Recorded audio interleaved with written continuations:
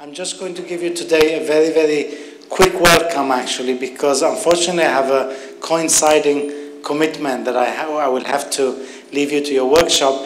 But uh, maybe tomorrow morning I will give a little presentation about the activities of ICTP. I think, uh, I'm sure that several of you will have heard or will have been at ICTP before. Uh, for those of you who have, welcome back. For those of you who, for whom it's the first time, welcome to ICTP. It's a very great pleasure to have you. Uh, Abdus Salam International Center of Theoretical Physics is a very unique institute. It's an institute with a mission to help uh, promote excellence in science in developing countries. And so maybe tomorrow morning I will give you a little presentation of the wide range of activities that we have. This school and this workshop that you're participating is just one of several activities and many of you will, uh, I think, maybe be interested or be um, you know, eligible to participate in some of the others. So I will give you that information tomorrow morning. And uh, for the moment, let me just again extend my welcome to you. I hope you have a very fruitful and productive workshop. You interact very much with the lecturers and speakers who will be here, and you make the most of your week. Thank you very much.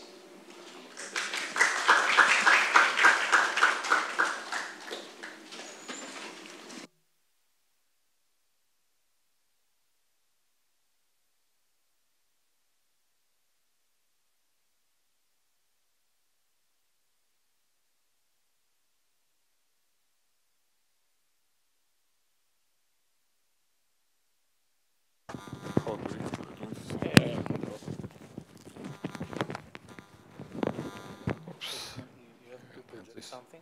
Excuse me? You have to project? No, no, no, no. Just I'm, I'm, I'm a good speaker, yes. Oh, just, okay, just Blackboard. Okay, so, so I will talk about something, something which is rather new, and despite the mm, sujet is very classical. So let us start with one of two examples which, which, I, which I keep in mind. This example is called complex Ginzburg-Landau equation.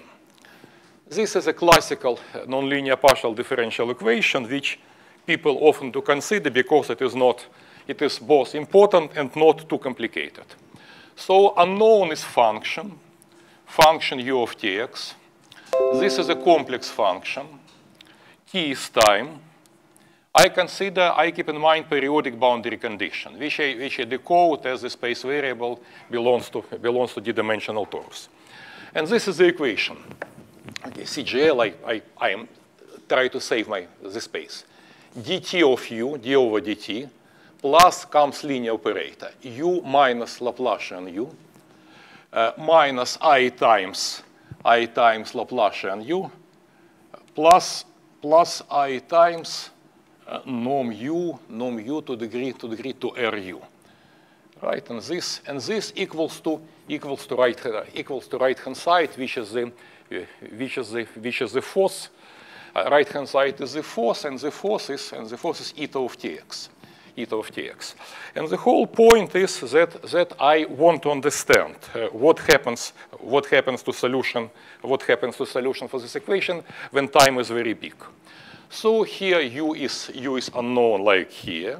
We take we take we take initial condition u of zero x, which is a, which is a given function, which is a given function u zero of x, and we try to understand what happens with the solution for this equation when time goes to infinity, when time goes to infinity. And this equation can be, can, can be understood differently. Now we take advantage from the fact that, that we have a random parameter in our, in our equation, right? So the force depends on, on, on the random parameter omega. Solution also depends on the random, random parameter omega. Therefore, we have two advantages and disadvantages. Uh, uh, we have advantages, both advantages and disadvantages from the fact that we have two part of mathematics here, partial differential equation and, and, and just uh, stochasticity. Stochasticity. Advantage of the fact that, that we have this stochastic probabilistic setting is the following. That, that we can understand the question what happens with solution of this equation when time goes to infinity in the sense in which physicists usually understand it. How they do it? How they do it? Look, let us regard my, my unknown solution as a curve u of tx in some, in, in, in some functional space h, in some functional space h, right? Then, by the way, keeping in mind this, my equation, my equation, which is a complex Ginzburg-Landau equation, right, uh, becomes becomes something like ordinary differential equation in the ordinary differential equation in the function space H. So I can, I can write, I can, I can rewrite, I can rewrite nonlinear partial differential equation as an ordinary differential equation in, in, certain, in certain space of function. d over dt of u of t plus linear operator L of u of t, L of u of t plus, plus nonlinear path f of u of t equals to, equals to the right-hand side, right? And now, for me, linear path is, is only this one. So now I keep in mind that L of u equals to u minus Laplacian u, and f of u equals to, equals to minus i times i times Laplacian u plus i times nom u to degree to r to ru. And u and u is, and, and r here is a natural number. R here is a natural number. R here is a natural number. And then just what physicists usually do. At some moment of time t, u of t is a function of x. Let us consider some functional of importance on the, on, on the space of function. Something like energy, energy of our, of our field u of tx, something like momentum of our field of tx, something like spin of our field of ts. It means that I, that I take a certain functional f, which, which, is a, which is a functional, which sends space of function, space of function in, in, in reals. I, I, I consider what, what physicists call, what physicists call observable, observable, right? For example, I measure energy of my, of my solution at time t. I measure momentum of my solution at time t, right? But now I remember that everything depends on the random parameter omega. Since I have random parameter involved, I can take, I can take mathematical expectation. This is a mathematical expectation, right? And then what, what interests physicists the most, this is what happens, what happens when, what happens with this quantity when time, when time goes to infinity, when time goes to infinity, right? So this is, this is, what, they, this is what they want to understand. And something very nice happens here, because very often, very often the answer to, to the question what happens here when time goes to infinity is given by the following beautiful object. Look, let us consider P of x, the space, the space of measures in the space in the space H. Measures in the space H. Measures in the space A. Measures in the space H, right? Let's consider the space of measures. and let us consider then, then very often the answer is given in the following, in the following form. In the space of measures, there exists unique measure mu star, which is a stationary measure, which is, a, which is called a stationary, stationary measure for my, oh, excuse me, excuse me, time, uh, time, time goes to infinity. There is a measure in the space of functions such that, such that when time goes to infinity, this expected value of the observable quantity is simply given by the integral. I have to integrate over all the functional space H, the quantity, the quantity f of v with respect to this measure mu star, mu star dv, mu star dv, right? This is of extreme importance for physicists and for physics. Very often, and this is what physicists care the most. Very often when you start to read physical book or physical papers, where the, where the corresponding physics is governed by some partial differential equation, like this one, because this is a very, very physical equation you will see there that, that the only thing what they care about is this is a stationary measure, because they care only about the limit, on, on, only about the limit, right? So the goal of my, the goal of my lecture is to show that, that now some synthesis of rather basic ideas for partial differential equations, from, from rather basic stuff from probability, and rather delicate recent advantages in the theory of optimal control uh, allows to prove that, that, that this is really what happens for very big class of equations which can be written in the form 1, in the form right, and I, and, and I will be able more or less explain you Uh, how, this, how to prove that this limit exists. Right. I will never assume deep knowledge of partial differential equations. Essentially, what I will assume is that you know basic spaces of functions. For example, Sobolev, spaces of Sobolev functions, right? And basic properties of, for example, heat equation, which is, which is linear parabolic equation, right? Rather, I never assume deep knowledge of the, of the probability and, and, and stochastic processes. What I really assume that you really, really understand, this is the concept of independence of random variables. Independence of random, of course I will repeat everything, but if you do not know what does it mean independence, it will be really hard. So what does it mean random variable? Random variable, random variable, right?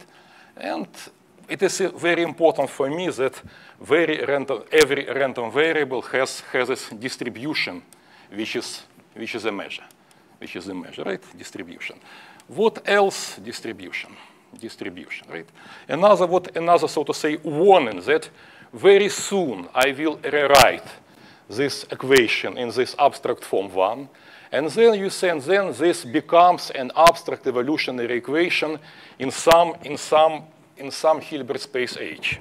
If you're not good with partial differential equation, you can imagine that this is, that this is finite dimensional space. And then what I'm talking about is an ordinary differential equation with linear path in the space, which is perturbed, which is perturbed by some by some random right-hand side, right?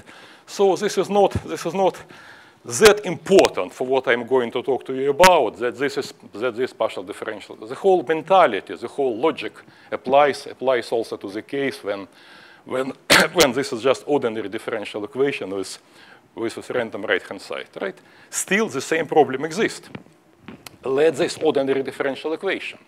What happens to solution when time goes to infinity, right?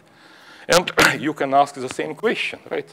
So you see, all what I told you about, it remains mean, meaningful if, the, if, the, if my functional space is, an, is, some, is, is, is just finite dimensional space, and we are talking about ordinary differential equation.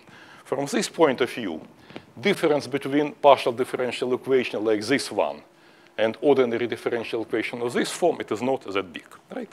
So this is what I'm going to talk about. Now a bit more specific. Now a bit more specific, now just, now just references. Because I will, to, I will to talk to you, what I will, what I will talk to you about is, is rather recent, is rather recent, because as I told, this is a rather fortunate rather fortunate uh, mixing of some new results from optimal control and from and from and from other fields. And by the way, from relevant results from optimal control, this is what Professor Agrachev will talk about. So now, now the references for, for, for what I'm going, for, for, what I will talk to you about. Uh, so because the duration of my talk is not, is not sufficient, of course, to, to, to give you details, my, my idea is to explain what happens in this problem. And then you can find all details, all missing details in the publications, which I give you references now. One, one, this, is, one this is a paper, uh, my paper with my friends and colleague uh, Nersesyan Shirikyan. So this is Kuksin, Kuksin, Nersesyan, Nersesyan Shirikyan, Nersesyan Shirikyan. Shirikyan, and this is and this archive it is still. We hope that it will appear before the end of this year. And this is 1802 03250. But if you type our name and if you type archive, you will see it. the only warning that later this month we will put to, to, to archive revised version, so we, we, we still keep trying to improve presentation, right? here, proof, proof here is not at all easy. And then in second paper, which is, which is my joint paper with, with, with Huilin Zhang, with Huilin Zhang, Huilin Zhang, who is, who is here and who also can be addressed with questions if you have them right? This is in this is this is this archive also 8, 12, 11, 7, 6. Here we applied some ideas from this paper in, in a bit easier setting. I will explain everything. And presentation in this paper is easier. So I think this paper it is really, it is really readable. It can be, it can be read. Also, third reference is, is my review paper with the ideas. This is, this is just, just only ideas here. This also archive 1901, 11, 2 to 5. This, this one is published, but just archive is easier to find. Right, and all details concerning concerning uh, partial de de details with partial differential equations and, and with relevant uh, facts from stochasticity can, can be found in my book KS, which is, which is my, my book with Armen Shirikyan. Shirikyan, Shirikyan. And the title of the book is Mathematics of, of Two-Dimensional Turbulence. Mathematics of Two-Dimensional Turbulence of 2D turbulence. Turbulence, this is a book. This is book published by Oxford University Press in 2012. So where all missing details, all lemmas and theorems which are used without proof can be found. And there is a shorter version of this book, which is a book of me alone. Of me alone, time title for this one is randomly forced, randomly randomly forced, randomly forced nonlinear PDEs. Randomly forced nonlinear PDEs, nonlinear PDEs, and blah, blah, blah, title is long, but it is enough, right? And it was published in the year 2006 in, in European Mathematical Society. So, so all ideas can be found, can be found here, but proper proper realization of these ideas with all missing details are here. Okay, so this is so advantage advantage of my of my lectures is I repeat that I will be rather closely follow follow this text, but I will explain all missing all missing all missing details. Okay, so this is this is what I'm going to talk about. This, this is what I'm going to talk about. So this is, so to say, panorama, panorama with references. Now comes, now comes real introduction real introduction, right? So real introduction is, okay, let us take complex Ginzburg-Landau. This is one of the most famous, famous equation of modern physics. Say if, they, if you ask physicists for the short list of five most important nonlinear partial differential equations, this one will be, will be there. Here unknown is a complex function. So this is, this is a, this is a nonlinear, nonlinear partial differential equation uh, for, for a complex function. It is constructed in this way. Look, if I will erase this term, that what is left is, what is left is nonlinear Schrodinger equation. Many people here can know or should know this because this is famous Hamiltonian partial differential equation, right? But what I added, I added to this equation friction because, and, and this, is, this is just linear heat equation with with extra, with extra friction being added, right? So this is melange mixing of two equations of, of nonlinear Schrodinger equation, which is stabilized by additional friction. And I added to this equation right-hand right -hand side, which is a random force. Because, because in real physical system, we just very often have, very often have random force, right? Now, now notations. Uh -huh. uh, my structure of the blackboards will be the following. I will, I will keep on the left of the left side equations which should stay on the blackboard forever. So, and, and uh, all my, all the text will be, will be to the right from this line. Okay, so, so now let us some basic definitions. If we are talking about partial differential equations, we have to, we have to, we have to develop at least some, at least some uh, terminology. Well, first what I need, I need L2 scalar product. L2 scalar product, well, everybody knows what does it mean, L2, L2 uh, scalar product. Here I have tiny specific. Since u, u of x is a complex function, then this should be taken into account. So scalar product of two complex function u of v, this is real part, real part of integral over, over d-dimensional torus of u bar v dx dx, you see? So for example, norm L2 norm squared, of course, this is just integral of norm u squared. So this is, this is a good consistent, consistent definition, right? What I will need, this is a Sobolev space, Sobolev space HM. I have to assume that you know what does it mean. Of course, formally, I am giving a definition now. Sobolev space HM, and I will care only about, only about natural M's, right?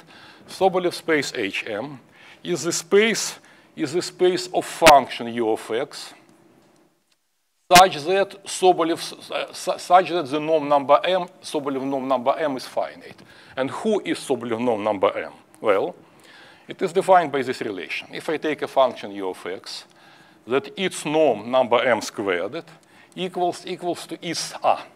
And this is scalar product and the L2, L2 norm, this is L2 norm of u. This is, of course, scalar product of u with itself, right? So this is simply integral of norm u squared. Hmm? Yes, thanks.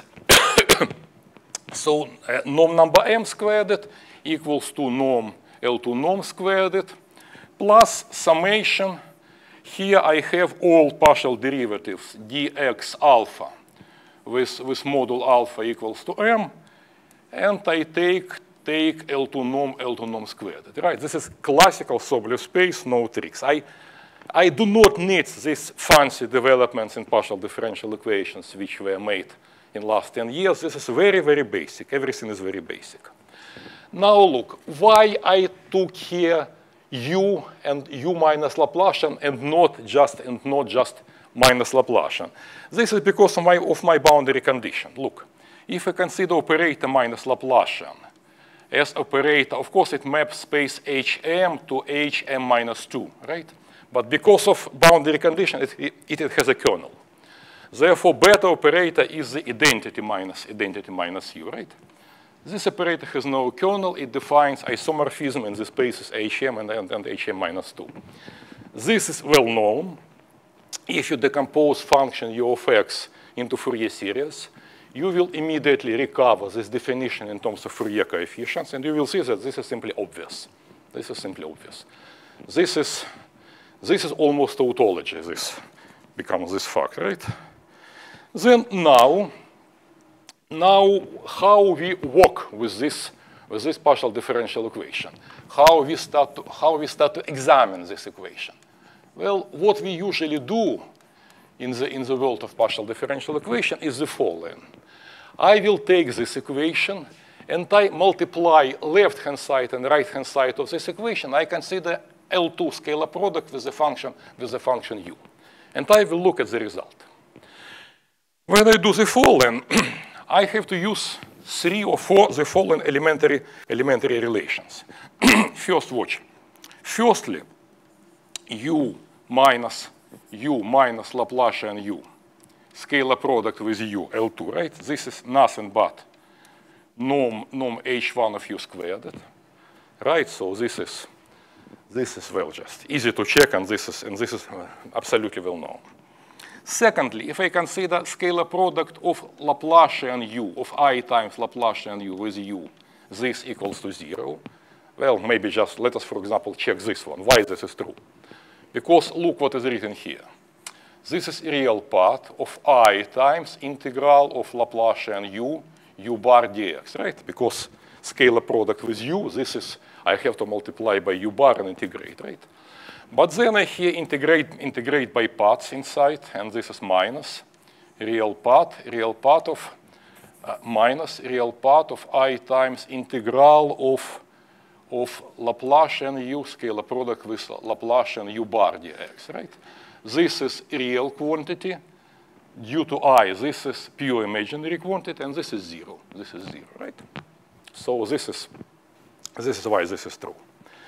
Uh, very similar, very similar if I take, if I take a scalar product, scalar product of nonlinear part here, the result will be the same if I take a scalar product of the nonlinearity, nonlinearity with u, this is again zero for, for, for, just for the same for the same reason, for the same reason, right? And finally, finally, if I take if I take a scalar product of dt of u with u, then this is nothing but one half one half of norm of norm u0 squared, right? This is easy calculations, well known. But then I explained, I explained to you just everything what we have. I have analyzed all terms which you have here. Now I erase, erase this reference. I will always, I will always refer to them for, for missing details, for missing details and for more, for more comments.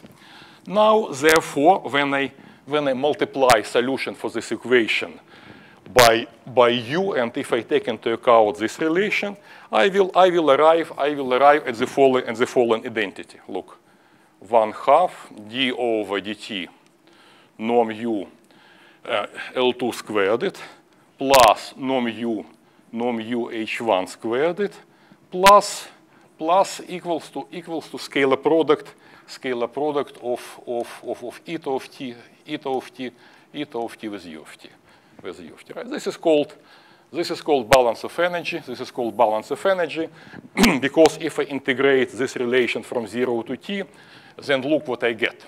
I get then one half norm u of t L2 squared. it. uh, here arrives, in the right-hand side, arrives norm, norm u0 L2 squared. This gives me, this gives me integral from 0 to t of norm, of norm, first norm, first norm uh, uh, squared, and the right-hand side, so this is, this is second term from here, and also plus, and also plus integral, integral from here integral from here, from zero, from zero to t, integral of, of scalar product of eta of t, of, of u of t of t uh, dt, dt, right? And very often in many physical settings, this is energy of the field, which is of the field u of tx. This is, this is strictly positive quantity, obviously, right? Therefore, we have, we have strict, rather strong a priori bound for the, for the solution of this equation. This is a good hint that the equation which we, which we are talking about, which we are talking about, this is a good equation.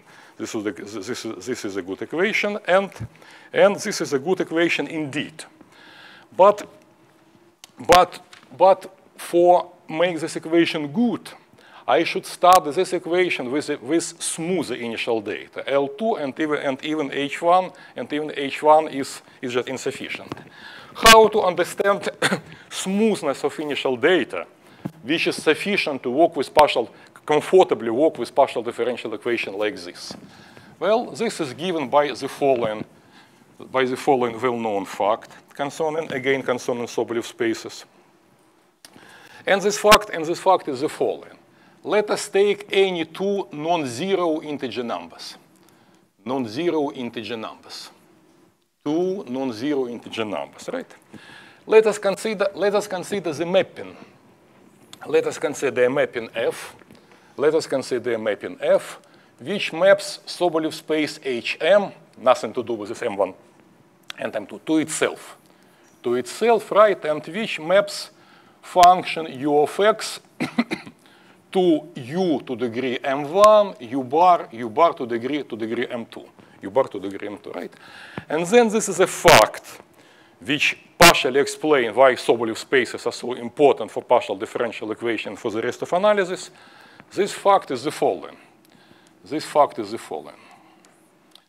That if M is bigger than half dimension, bigger than half dimension, this mapping is continuous. This mapping is continuous. This mapping is continuous. This mapping is continuous this mapping is continuous. Just references can be found everywhere, for example, in this, in this our books. And even more, even more. Also, also it is, it is analytic and even smooth. It is analytic, it is analytic, it is analytic and smooth, and smooth. Well, you see, so I have to use the notion of smooth mapping from one Hilbert space to, to, to another. I understood smoothness in the sense of Fréchet. I do not want to give definition and to discuss it. This is, this is more or less useful. So I hope that you know it.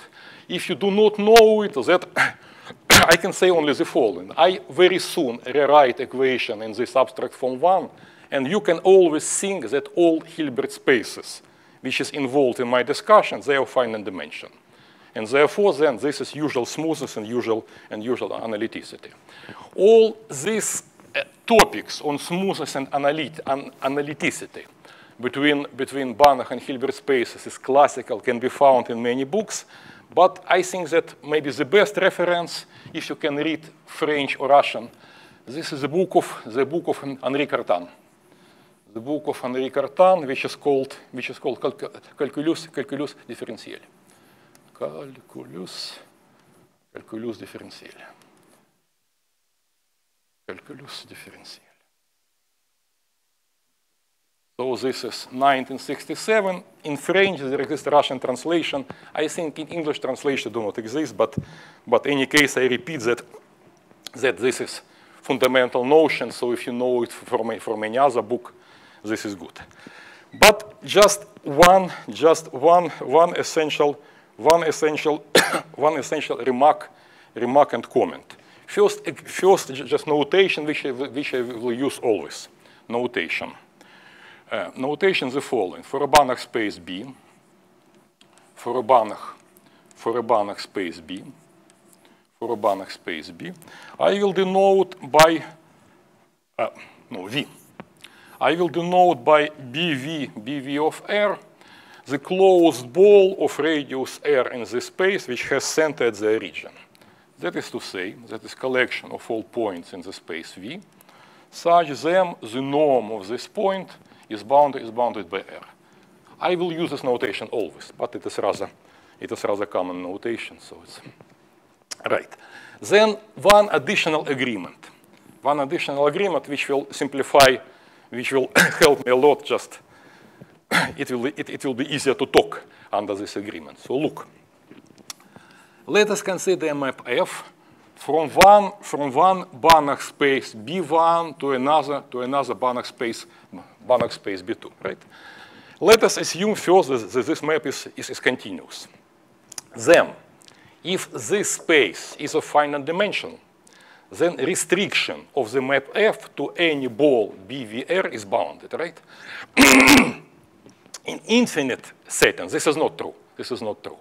So my additional agreement that all continuous mapping from one Banach space to another I will talk about they are bounded on bounded on bounded balls. We can easily check that the mapping which, which, which arrive in my construction, they're just like this. And all transformation which I make with mapping, they also preserve, preserve this quantity.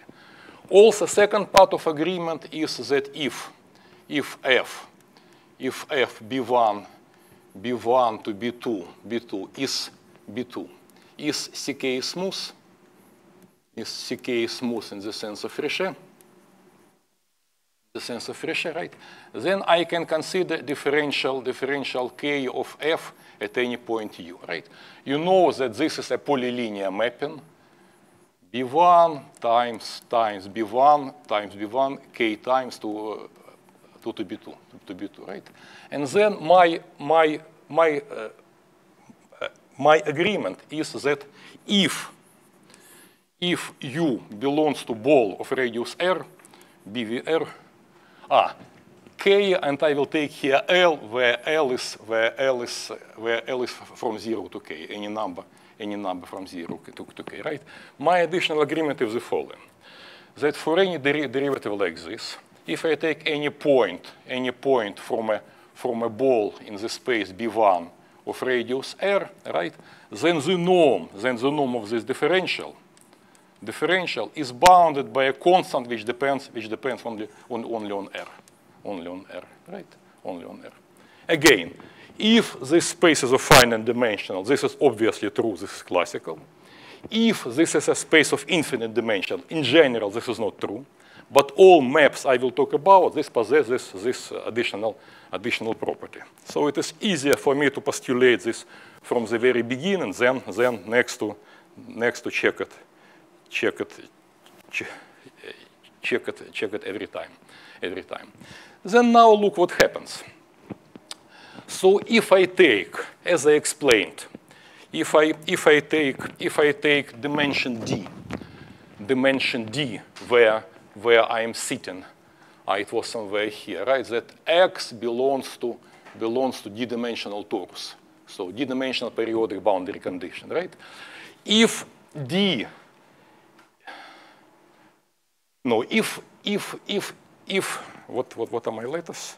Uh, okay, if M is bigger than half, half of D, then this nonlinearity defines continuous and analytic mapping from the space in the space HM. It means that it is good to study this equation in the space HM, and this is what I'm going to do. So then indeed equation is well posed in the space HM if degree of nonlinearity is not too big compared to, compared to D. And this is given by the following theorem, by the following theorem, by the following theorem, by the following theorem. Well, for example, you can find this in, in my paper with Huilin in my with Huilin, it's proof just in many different places also, whatever. Now watch. So let we have high regularity. Let uh uh, just just I'm choosing. Okay, let let m let m bigger than bigger than half of even okay okay let it be like this. Then if, if the degree d of the space is 1 or 2, 1 or 2, then R may be any. R, R is any, R is any, R is any natural number. R is any natural number. Second agreement, if D equals to 3, equals to 3, then, then, then, then just I, I have to assume that, that just R equal to 1. So in three-dimensional case, this, this must be u squared. This is maybe one of the most famous nonlinear uh, nonlinearities which, we, which happens in, in, in mathematical physics. So under, under, this, under these restrictions, it is, it is well known. It is, this equation is, is, is well posed. It means the following, that m is bigger than half of d if initial data is taken from the space hm, hm, right? And if eta, now I, I, in this theorem, I assume that eta is just, is just a, a deterministic function. Is a function which function be, which belongs to L0 ut, uthm, uthm minus 1. What does it mean? It means that it means that if I write if I write this function as, as, as, as I said, as a curve ut in the space in the space hm, right? Then this is then this is a curve with, with, with, with finite L2 norm, right? It means that integral, integral from 0 to t of norm u of t, u of t m squared is finite. It's finite, right? It's finite. So this is if initial condition belongs to the space Hm, if the right-hand side is just L2 curve, L2 curve uh, value in the space H, Hm minus 1, right? Then there exists unique solution. Then there exists, there exists unique solution U with the following properties, such as that. With which properties? First, U is, U is L2 function. L2 function two units smoother. So valued in the space h m plus 1. Also, this is a continuous curve in the space, in the space hm in the space Hm, right? And du over dt, du over dt, this is, this is L2 curve, L2 curve valued in the space, in the space H, H, Hm, Hm minus 1. Hm. You see, so at least under some restrictions on the degree of nonlinearity in terms of dimension of, of space variable, this equation, this equation is, this equation is well posed this equation is well posed. Now, now I, after this, with this theorem, with this theorem in hands, I will consider, I will consider equation one as an equation in the space, in the space Hm, which I will denote for short as SH, SH, right? And I will, and I will write it like this. Because of this notation, from now on, I will denote uh, norm number m simply, simply, simply like this simply, simply like this, simply, simply like this, right?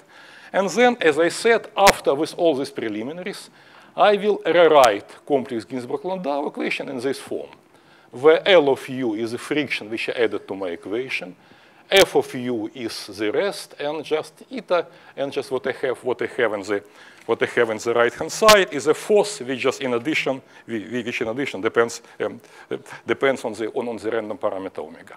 Lot of other important nonlinear partial differential equations. I cannot say it, I cannot say all of them, but quite a lot can be written can be written in the form in, in the form one in the form one, right? Now, so I will talk equation in the form one. Now I will assume about equation one something. What I will assume is, is weaker than what I know from this theorem, right? So, for, so, so the, this equation satisfies all, this, all the restrictions which are imposed on the equation one now. So which restriction have I, have I to, to, to, to impose on the, on, on, the, on, on the equation one?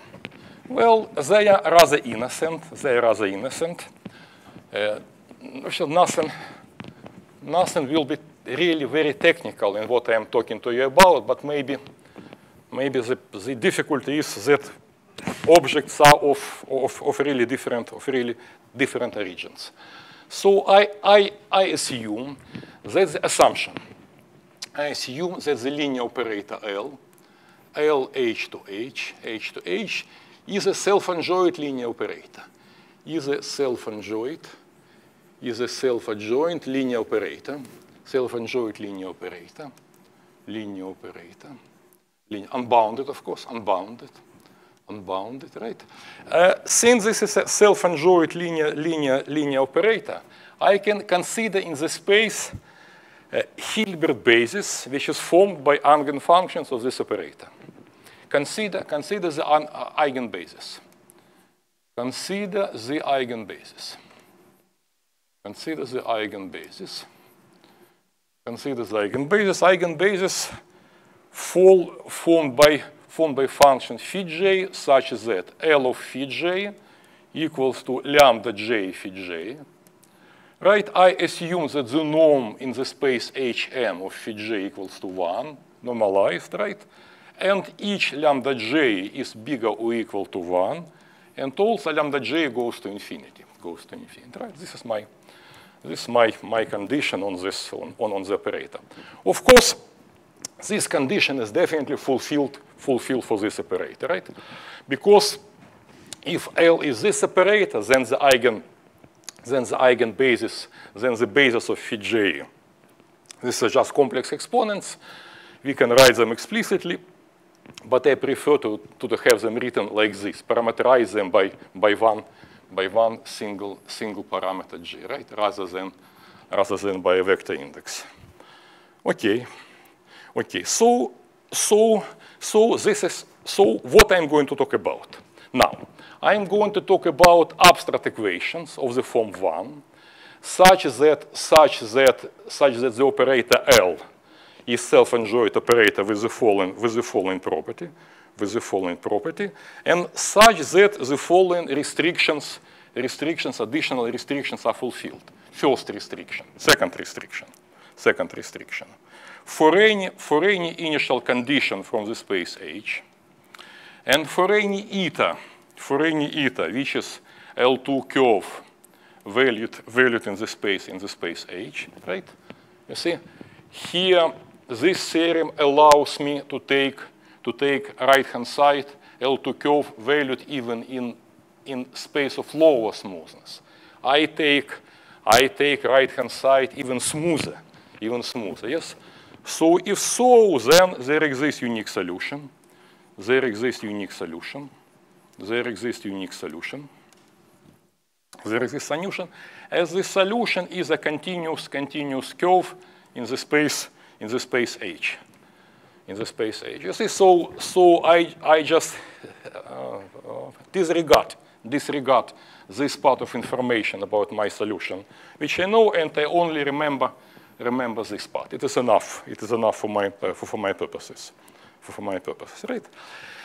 Okay, now, now just, now just, okay, now my force, my force depends on a random parameter, right?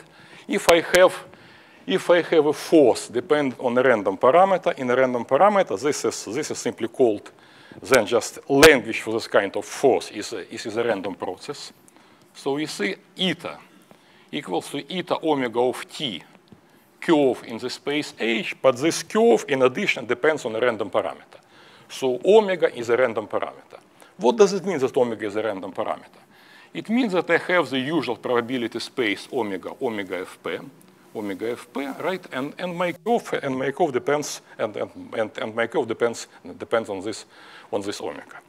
Of course, I have to I have to assume something about about this force, about this force, about the about the force F.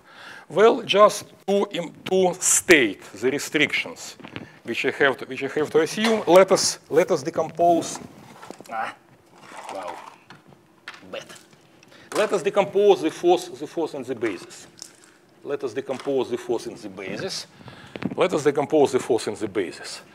I will call this F. Maybe I will somewhere later refer to this later. Ah, yes, and just about my notation. So, so star means a, means a temporary name. I will use, if something relation formula is called star, then I can use only, only during few lines, few lines, right? One here is a, is a temporary name. I will use this equation one always.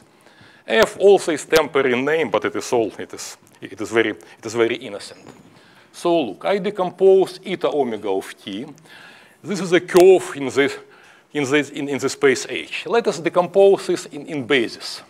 Summation, summation, decompose in the basis phi j, write this basis. Here comes bj, bj eta j eta j omega of t, eta j omega of t. So look, I decompose a random curve in the basis. Therefore, of course, coefficient in, coefficient of decomposition number j is, is something random. I write this something random as a product of, of scalar number bj with some random with some with some random process eta j. Why so? Why so? Because, because this bj uh, uh, is, it tells me how big, how big the coefficient j is. So all these random processes will be, will be of order 1, but bj should, should, convert, should converge to, to 0, to, to 0 rather quickly. So look, first bj are non-zero, all of them. And second, this is assumption B, assumption B that that the summation of bj, bj squared that is finite. They are, and, and the bj, they are, they are real numbers. And I will denote this sum b. So this is, this is, you see, so I decompose, I decompose the force, the force in basis, and, and these are, these are, these are restrictions which I, which I impose. Now, who are these guys? So here I have, here I have random processes. Random processes you see, for my course, this, is, this will be innocent. I never assume some delicate, complicated, complicated properties or structures of random processes which I use. So this is simply a curve which depends on random parameter. So I, have random processes eta 1 omega, eta 2 omega, eta 3 omega, right? There are infinitely many of them. Infinitely many of them, right? And I assume that they are independent identically distributed random processes. Random processes. Random processes. What does it mean? Once again, it means that I have one random process, eta omega of t. This is a, this is a random process. This is a random process. This is a random process, right? This is this random process which, which is valued, which is valued in, in, in in real numbers. And then I take infinitely many independent, independent copies of this random process.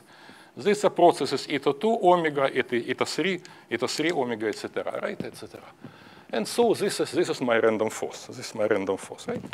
So, so this is a battlefield. So this is what I'm going to talk about. Of course, it is not enough. I will, I will impose more restrictions. But very briefly, summary is the following. I am talking about evolutionary equation in certain Hilbert space H. This, this evolutionary equation has linear part L of u, it has non-linear part f of u. This non-linear part also in its turn may, may, have, may have linear component, why not? And I have, I have here right-hand side, which, which just depend, uh, which, which depends on the random parameter. I assume that the operator has some nice spectral properties. You see, it has eigen, eigenbases. It has bases in the space H, which formed by eigenfunctions of operator of size 1, right? And, and this, and, and, and eigenvalues go to infinity. And my equation is well posed in the following sense. For any initial data from the space H, from any right-hand side, which is L2 curve in the space H, I have, I have one solution for my equation, which is, which is a continuous curve in, in the space H, right? Then I decomposed, I decomposed random force in the basis, and I assume that the coefficients of this decomposition have the following form. Some number bj, which is, which is small when j is big, you see this? times a scalar random process, which are, and these random processes, which are, they are, they are, they are, they are independent copies of some single process one. The last, but, but very important thing, summation here goes from one to m, where m is either finite or infinite, either finite or infinite. And then we have two rather different questions. When m is infinite, I'm talking about non-degenerate force, right? I have, I have noise in every Fourier coefficient. If m is finite, my, my, my, my force, my right-hand side, my right, right-hand side is very degenerate. Second question is significant, significantly more complicated. And then watch what happens. I can, I can consider this system one. I can, for a moment, forget about this random parameter omega. I can regard system one, system one as a control system, is a control system, right? So if I do so, then eta of t is my control. And I have to choose this control on some special way to achieve one purpose or another. I have restrictions on this control. And I have to prove that with this, under these restrictions, I can achieve the goal which I wish, which I wish, right? And then, of course, this control may be of low dimension, so m, m, m be just 3, right? Or full dimension. m may be equal to the dimension of my space. Again, I repeat that you can regard this as a, as a finite dimensional system, right? This is, this is setting of the problem in terms of optimal control. But now what I do I consider controls which I, which I have in the right-hand side, not as something which I want to build, right? But as a collection of curves such that, such that a measure is on this, on this collection of curves. And then I'm trying to, what, trying to understand what happens, what happens with solution for this equation, right? It turned out, and this is, this is more or less, this was understood during last 20 years, and to a big extent, uh, during discussions of, of, of Armen Shirikyan, myself, and, and, and uh, Andrei Agrachev, that, that these two settings are very related. That to understand this stochastic system, we must understand, should understand better, should understand better control system.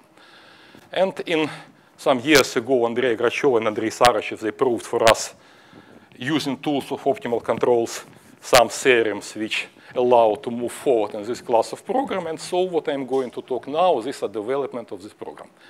Now look, we have another half an hour. Let us make break and uh, break means, means just, no, no, break means questions, questions, questions.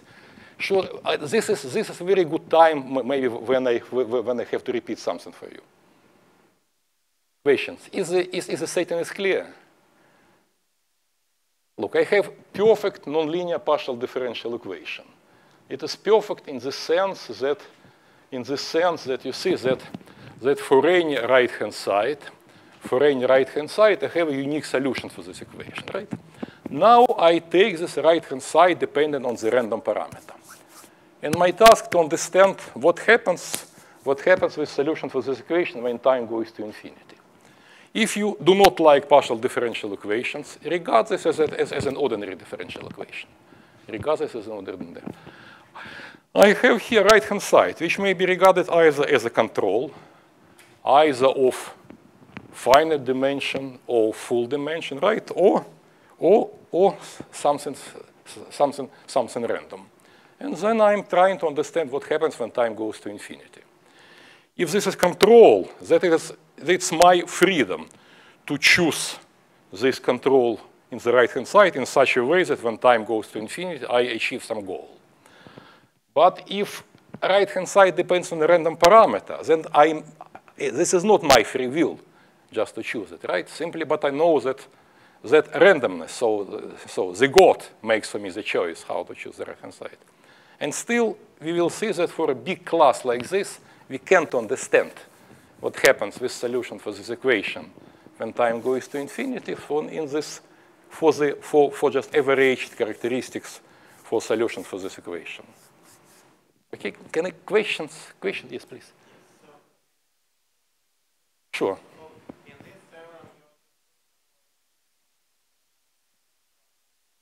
Yes. Yes, yes, of course, of course, of course, of course. Yes, yes, yes, of course it does. Because this is true. See, this is independent. This is my, I have no use. Okay, so you will see. Look. Look, if there is no right-hand side here, no right-hand side, that I have equation where coefficient doesn't depend on time. Then, this, then I have a flow map to this equation. It is really semi-group, semi-group in the space, in the space H. Now I have added random right-hand side. So the whole message will be that in this case, we also have a semigroup. This is a Markov semigroup. This is what I will very carefully introduce and just will, will, uh, will, will, explain, will explain later on. So because technique which I'm going to use, I will use nothing from partial differential equations anymore. That's all. That's all, right? what I will use, I will use some basic, basic techniques of Markov processes. But this here, I will explain everything. But as I said, I cannot, I assume that you know independence of random variables. And what is very important that I will systematically, we will play with the fact that that distribution of random variable is a measure. So this is questions. The more questions you ask, the more you slow me down. So then if you, the, the better you will understand what I'm going to talk. Because I have no, I have no program just to tell you all these pages which, which I have written. The more, uh, much more important is, is that you understand more. Questions? Yes, yes, yes, please. Yes. Yes. This is correct. This is correct. This is correct. Yes, it, it, it is diagonal. It is, it is diagonal control, diagonal. You see, physicists write papers like this. Physicists, this is, this actually, all this was started by physicists. This is, this is a reasonable model. This reasonable model, you see, I will, I will, I will, I will comment on this. I will comment on this. So you see, this is rather new. So so physically some, I will keep imposing restrictions. At some stage, I will tell you that this restriction is not very physical. It will be better to, to remove this. Simply since our background of myself and my collaborators, it is not stochastic, so we probably we do not know, do not, do not have enough stochastic skills. So we, we have to use theory of Markov processes, and there I will explain you everything.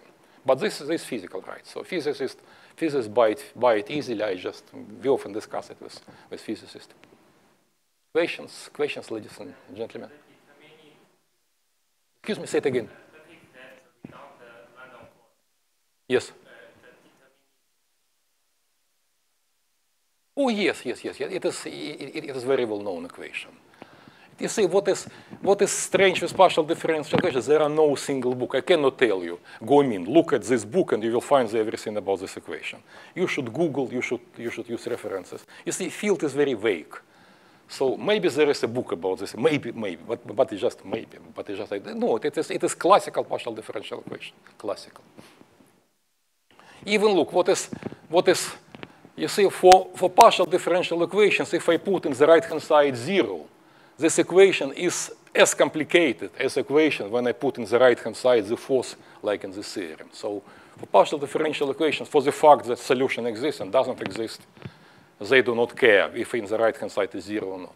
But you see, but theory of partial differential equations, only this is like for ordinary differential equation, you see all these books on partial differential equations, which we have now, all these extremely complicated papers, which are written in very, in very, very good journals, this is mostly, this usually just Picard's theorem. That for one or another partial differential equation, we have exist, we have, we have, a, we have a unique solution. We have a unique solution, right? The question, what happens with this solution when time goes to infinity, what are these properties, it is addressed in maybe 5% of all, of all publications. Some people in, in this ZAL are making, making very serious progress in this direction. You see, so all these books about this is theorem. There exists a unique solution. But physicists do not care about this. We learn them. Okay, they, uh, I, even I remember, you said, I, I am old enough just to, to, to, remember that, for example, in 50s, when we start to explain physicists and people from mechanics, that the issue that partial differential equations have solution or have not, it is really serious issues. They were laughing. All equations from physics, they do have unique solution. But now they well understand that if we take Navier-Stokes equation in dimension three, that this is our mathematical worry, that if this equation has unique solution or not, this is very physical worry, very physical worry, right? But still roughly like that. So mathematicians prove theorem that nonlinear equation has a unique solution. Physicists, physicists mostly, mostly are concerned only with what happens with solutions when time goes to infinity and with, with some parameter goes to zero, right? Can I, can I, uh, ask me something for the, for the benefit of other people? Yes, yes, this is probably you're, you're, you're just a bit late. So you see, so this is, this is, what is my goal? What is my goal? You see, so this is, if I want to tell that I want to understand what happens with u of t when time goes to infinity, it is too much. Because you see, this in deterministic setting, this is only, only God knows. This is extremely complicated. Only for few very easy equations we can answer these questions, right? Or maybe for very special subclass of solution, right? But physicists do the following. They consider, they consider some physically important functional, like energy, like energy, right? They, they consider f of u of t. So what they really care about this is not, this is what are asymptotical features of some relevant quantity, re relevant characteristic for solutions, like energy, like impulse, like, like, like, like something else, right? Again, this equation too complicated. No, no chance to answer, no, no chance to answer this, to answer this. But now we start to profit from the fact that my, that my solution depends on a random parameter. Then physicists, in fact, they love this setting very much. And that they, they, are saying, that they are saying that we want to consider what happens with the mean value of this, of this object, right? And then they knew this, starting from Einstein, I guess. He, but it is, for us, it is impossible to read his papers. But after physical translation, we understand that some questions and some ideas were in his papers already, right? So they said the following. Very often, what happens in the following, that there exists unique measure, mu star, in the space, in the functional space, such that the limit is uh, given by the integral of the functional with respect to, with respect to mu phi. And I will tell you very general result, which really guarantee explains this is true. This result is based, there will be one condition there, one condition which is not innocence, some property of corresponding controllable system. But now we have so good experts also in this audience, so for big class of equation, we can check this. Okay, so this is my goal. Some more questions?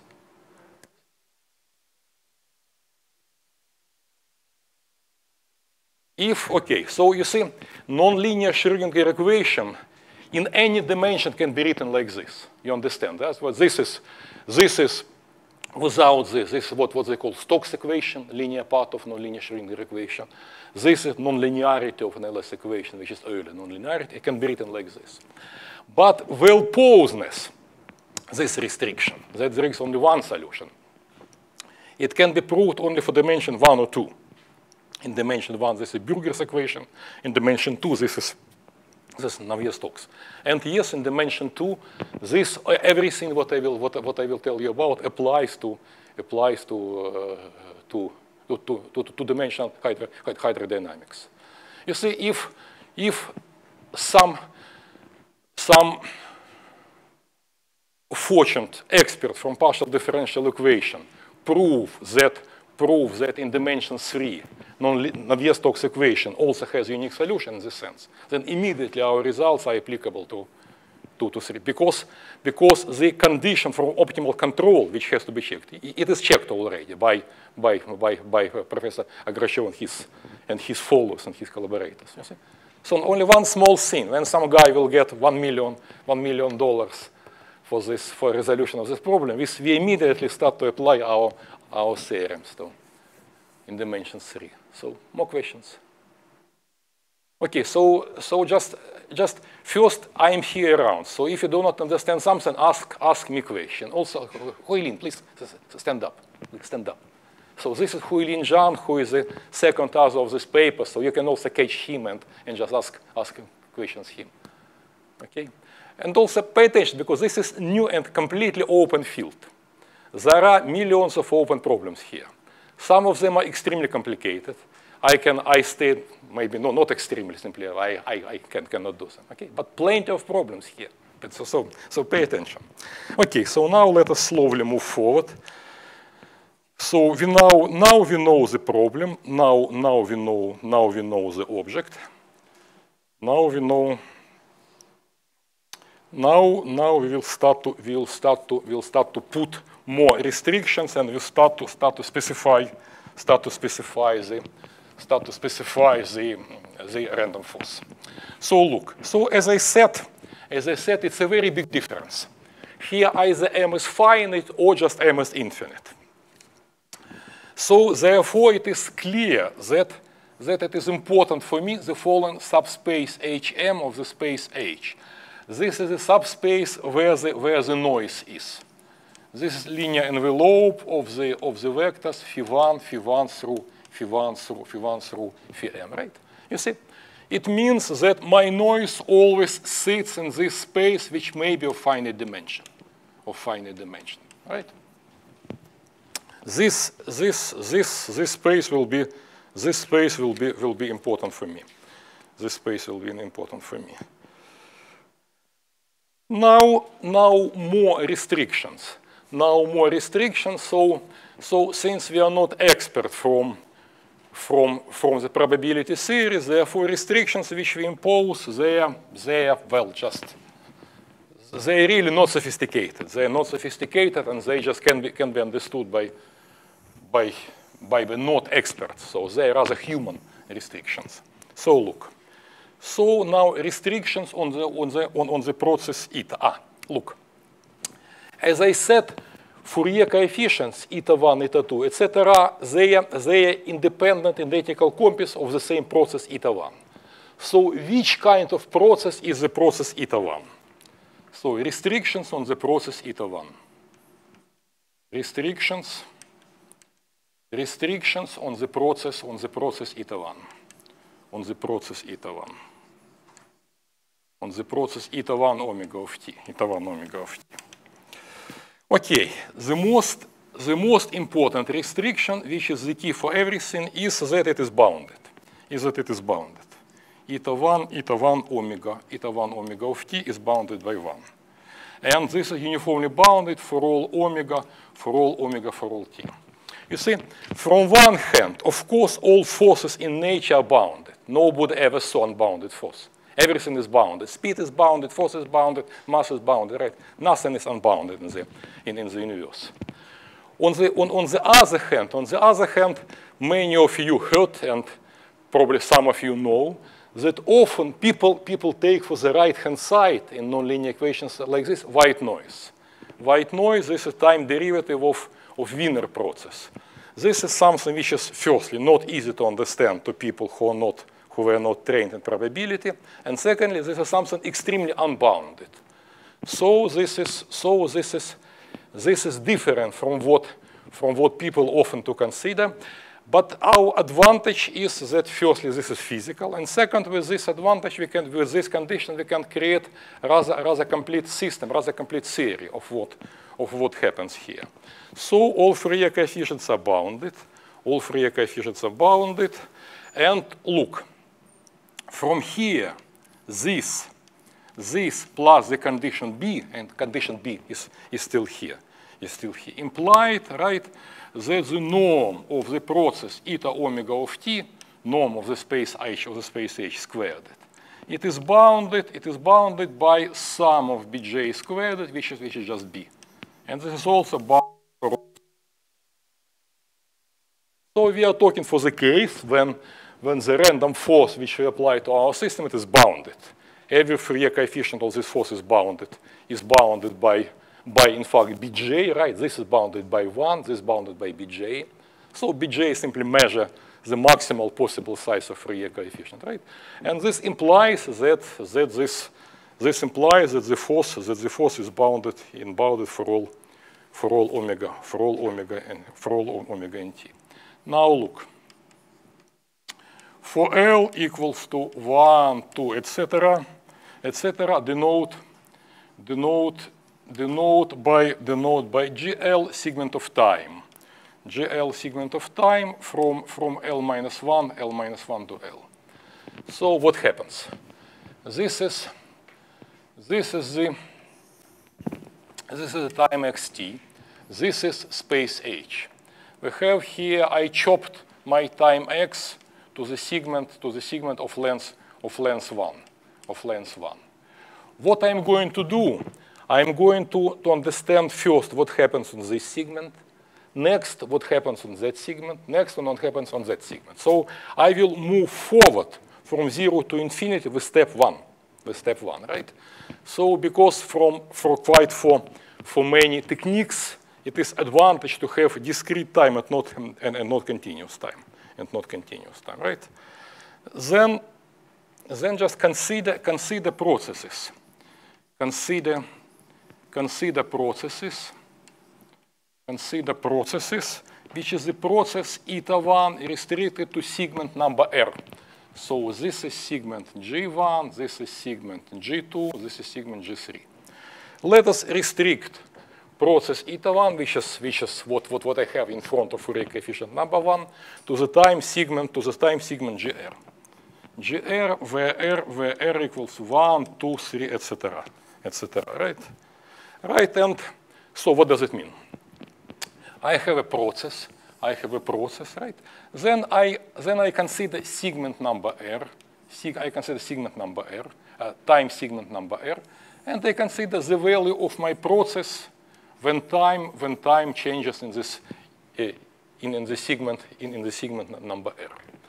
Now look, now look, shift in time, shift in time by, by, by r minus 1, shift in time, shift in time by, by r minus 1, by r minus 1, I regard, I regard this restriction, I regard the restriction of eta 1 to the segment zeta r as a function, as a function defined for t from 0, as a function defined for t from 0 to 1, as a function, as a function of t, of t belonging, belonging to the segment, to the segment g1.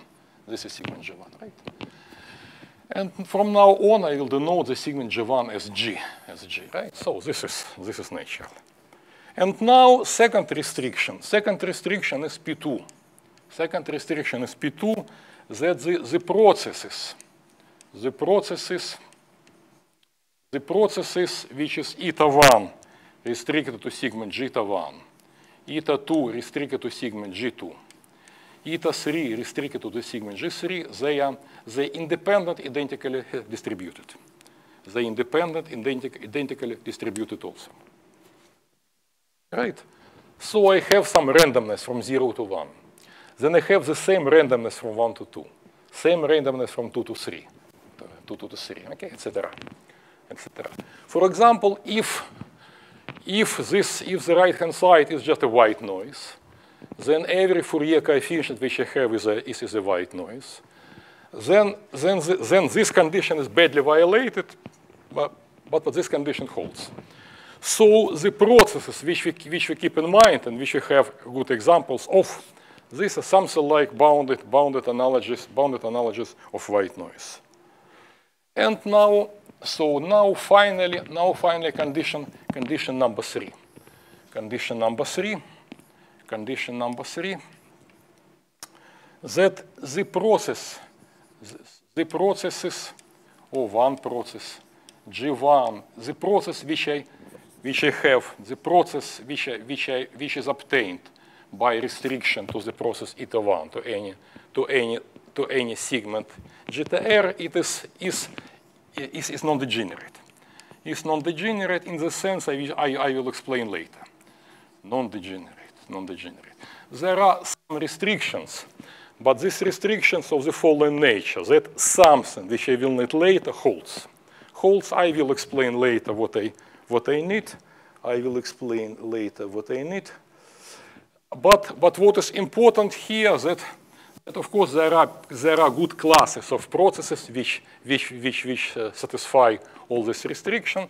This is called the process, this is a random Haar series, which is also the process, the process of red noise the process of red noise, of red noise, and see, see our paper.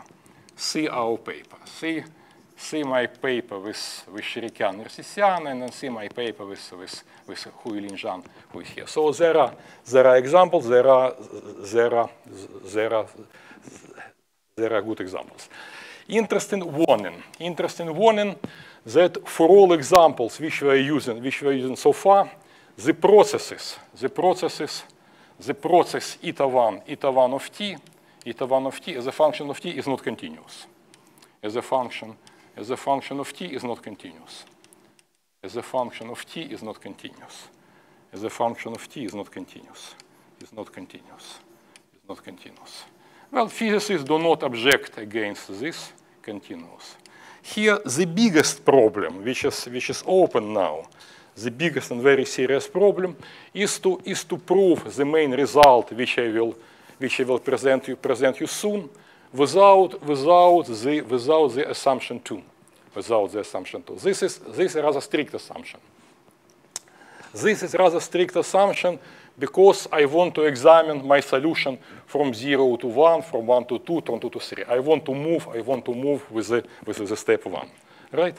Uh, physically, other restrictions are quite natural. For, well, so physically, for example, if the process is bounded and what they call mixing, mixing, then this would be perfect, but, but just we, we cannot do it. So, but so immediately, so if this from the theory, which I will, which I will present you, remove, remove the condition of, you see that we have to move to the, to, to the future with the step one, with the step one, this will be this will be serious serious serious improvement of of what of what of what is going on, right? Of what is going on. Okay. Now 10 minutes are left, and I use these 10 minutes for some for some repetitions from the theory of, of probability. So actually now I will I will give you some basic no, I will recall you basic notations from the probability theory which I, which I, which I will use, which I will use, right? After this, also, by the way, what will happen on the next lecture? This will be essentially basics on the theory, on the theory of Markov processes. So now, uh, I, my title is for the what for the this very one or two pages which I'm going to talk to you about. These are some notations from, from probability. Some notations from probability some notations from probability. From probability. From probability, right? So they innocent, nothing special. You can find it just in any book you wish. Personally, I like I like the book by by um, by, by, by Albert Shiryaev. Albert Shiryaev probability. Shiryaev probability. There are many editions. Probability. Probability. Just definitely everything what I, what I can what I can ever what I can ever use you, you can find you can find in this book in this book right first one object one object which is not which is not so to say classical object object from the theory of probability is that I will consider I will consider random objects in some special spaces of functions. Now what is very important that all spaces of functions, they are not necessarily linear spaces. There could be only parts of linear spaces. All spaces of functions I consider, all spaces of functions, of functions, of functions I consider, I consider will be, will be Polish, will be Polish. What does it mean? Will be Polish spaces, will be Polish spaces. Polish spaces, this of course to honor on a tremendous contribution of Polish mathematical schools in 30s to the field of mathematics, and especially, especially of uh, Stefan Banach. So a, a, space is Polish. Okay, so a space, well, just, uh, just space. I, there, are, there will be examples. A space is called Polish. A space is called Polish. Is called Polish if it is, if this is if this is if this is complete separable metric space. Complete, complete separable, separable, separable, separable metric space. Metric space. Metric space. For example, any separable Hilbert space H is a Polish space. In particular, any space Rn is a Polish space, right? For example, segment 01 is a Polish space. These spaces are Polish, complete separable, complete separable and metric, right? On the contrary, open segment 01 is not. Is not. Is not. Why it is not? Because, because it is not complete. Because, because, because point one is a limiting point which, uh, which doesn't belong to it. If I have considered Hilbert space which is not separable, for example, for example, L2 space of almost periodic function, right? It is also, it is also, it is not Polish. It is not Polish, right? So this is, this is extremely convenient to have Polish spaces because uh, from, the, from the point of view of tools which I am going to use, all Polish spaces are good. When we, when we stay in Polish spaces, we are safe. We are safe. Uh, right, so then, okay. Then, then basic stuff. Okay, then what I will what I will use what I will use in these Polish spaces. Let M let M be a Polish space. Polish space. Polish space. Polish space. Then by B of M, B of M I will define the sigma algebra, Borel sigma algebra. Borel sigma algebra. Borel sigma algebra. So if I will set if I will set that certain, certain set is, is measurable, it means that it is, it is, it is, it is Borel set. If you not, if you do not feel yourself so comfortably with sigma algebras and with, and with Borel set, you can simply keep in mind that just every set is Borel. It is not true, but definitely all set which will appear during our constructions, they are, they are, they are, they are Borel. They are Borel, right? and also P of M. P of M, this will be set, set of all, set of all Borel measures, set of all Borel measures on the space M. Borel measures, Borel measures on the space, measures, measures on the space, on the space M. Now something extremely beautiful for everybody with taste for analysis happens. So look, let us take any Polish spaces. There are clearly trivial examples. When a Polish space has only finitely many points, trivial and not, and not interesting, right? Second trivial example, when Polish space is a countable space. For example, set of all integer, set of all integers. It's a Polish space. I can, I, I can add in the list set of all integers, set of all natural numbers. But they are countable. They are not, they are not interesting, right?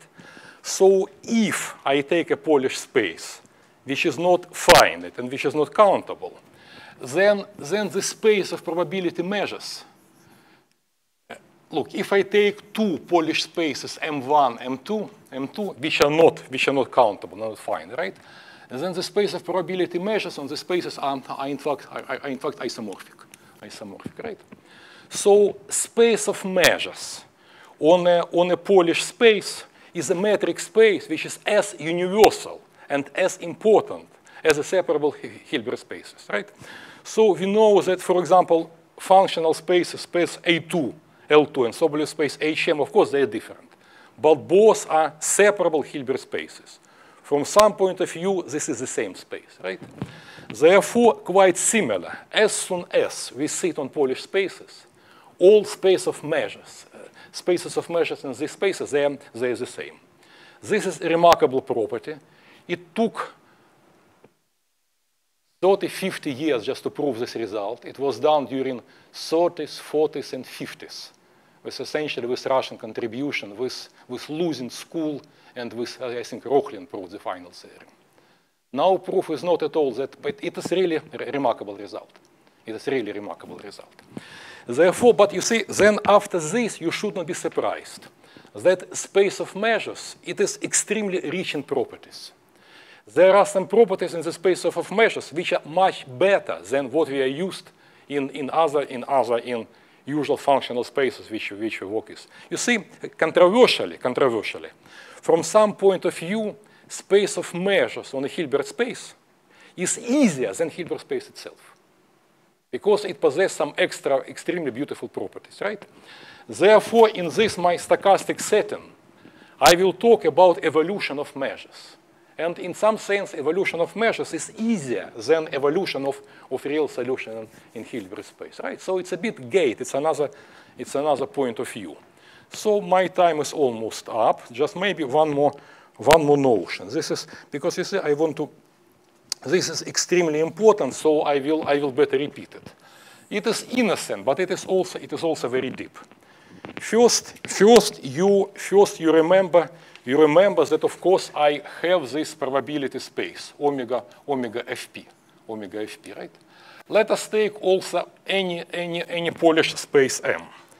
Consider, consider, consider, any, consider any measurable space from omega to M.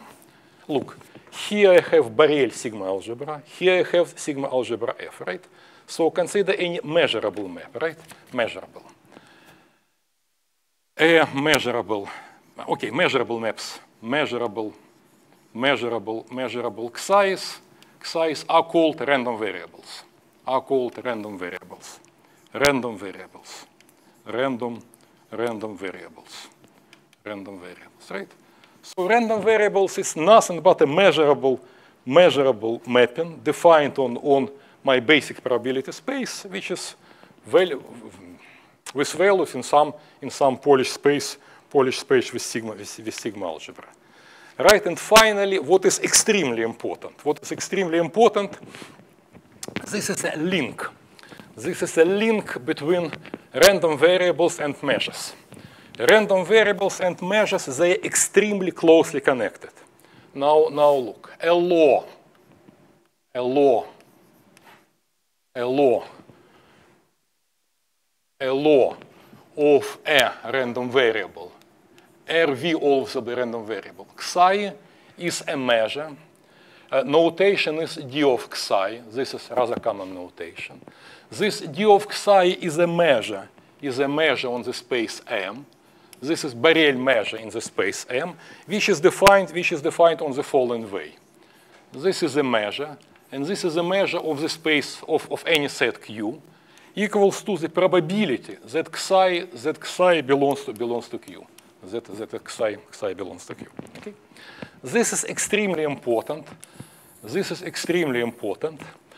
Uh, for example, because, because very often, very often if we, okay, so you see, so you see, so, so just, well, just, if Q, if Q is any, is any, is any Borel set, right? Is any Borel set, right? Therefore, we can, we can think about measures in terms of random variables. We can think about random variables in terms of, in terms of measures, right? So there are, there are maybe, this is extremely important, right?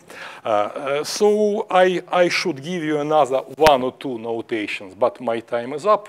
I will better, I will better start to repeat, repeat this and move forward in the notations in my, in my lecture, in my second lecture uh, in the afternoon.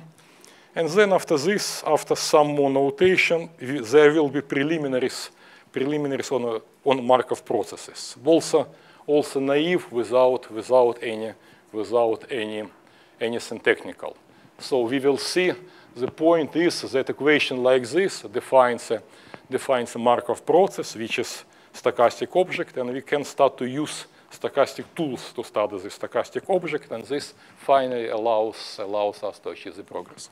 Okay, just that's all. So this, this is the end of the lecture.